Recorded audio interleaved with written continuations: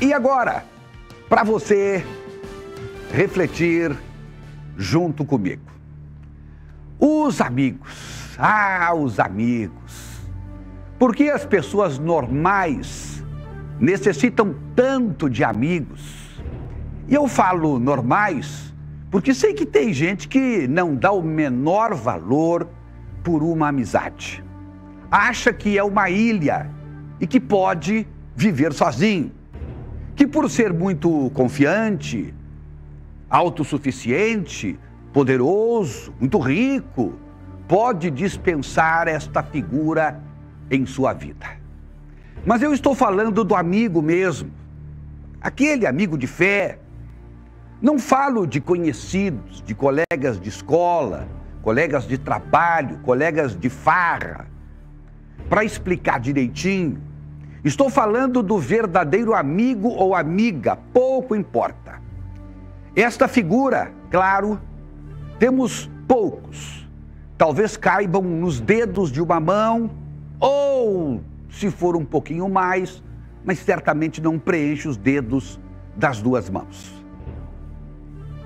O amigo de verdade é aquele que está conosco nas horas boas e nas horas ruins. É leal, é solidário, te oferece o ombro para ouvir o teu lamento e ouve sem te julgar. Fica feliz com a tua felicidade, se entristece com a tua tristeza. Quando você tem amigos de verdade, você nunca se sentirá só, não importando as circunstâncias. Ele sempre estará disposto a te ouvir. Quando necessitares falar, de tuas, de tuas conquistas ou de teus infortúnios. É importante que dediquemos parte de nosso tempo para solidificar amizades. Eu, por exemplo, nunca consegui dar um passo à frente em minha vida sem contar com algum amigo. Nas minhas vitórias pessoais ou corporativas, sempre tive uma mão que se estendeu para mim. Sempre tive alguém que demonstrou amizade e nunca me pediu nada em troca.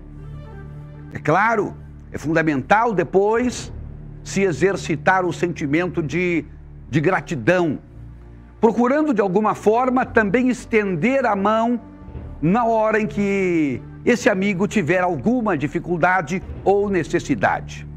É a velha história do uma mão lava a outra. O verdadeiro amigo é aquele que te aceita como você é, do jeitinho que você é, com todas as suas virtudes e com todos os seus defeitos. O pacote tem que ir completo. E o amigo pode ser seu pai, seu filho, seu irmão, obrigatoriamente, para manter o seu casamento, seja amigo de tua esposa, do teu esposo.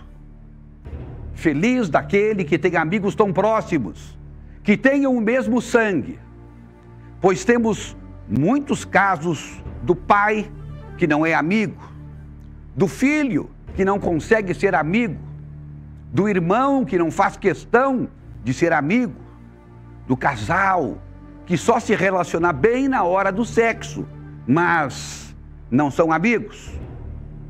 O amigo não precisa sempre estar com você.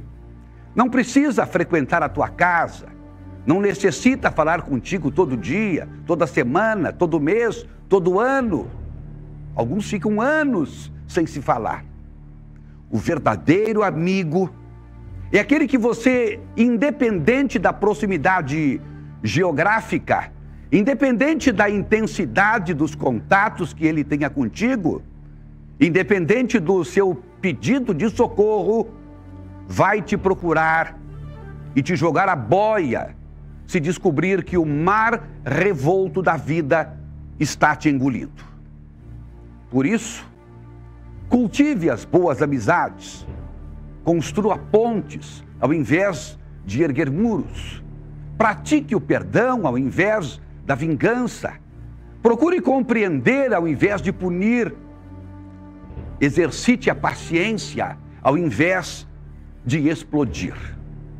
Se mostre uma pessoa normal e vulnerável, ao invés de querer parecer um animal enfurecido no momento de suas fraquezas. Não minta para o seu amigo jamais. Seja sincero. Não conte vantagens. Seja sempre do tamanho que você realmente é. Você vai ver que, rodeado de amigos, você será o homem ou a mulher mais afortunada da face da terra.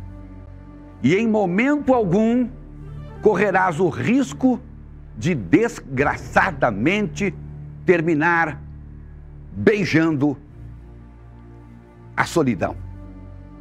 Este é o SIC News, o jornal que instiga, provoca, questiona, denuncia e que te ajuda a refletir.